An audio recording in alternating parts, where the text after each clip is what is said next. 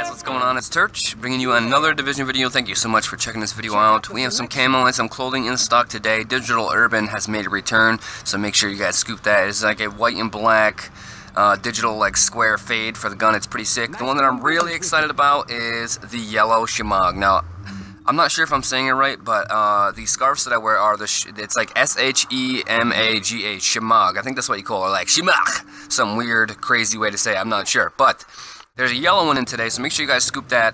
Uh, we got a black hat with some green trim. It actually goes well with the mint jacket if you did pick that up yesterday. Um, thank you guys for checking this video out. I hope it helped in any way. Thumbs up. Drop a comment if you guys have any questions or anything like that. And uh, thank you guys for checking it out. I'll see you later. Peace. You can't look from over there.